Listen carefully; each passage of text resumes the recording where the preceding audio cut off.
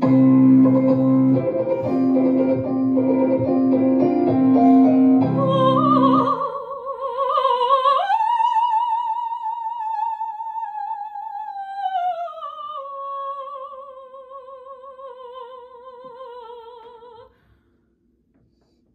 vivre dans le ravequet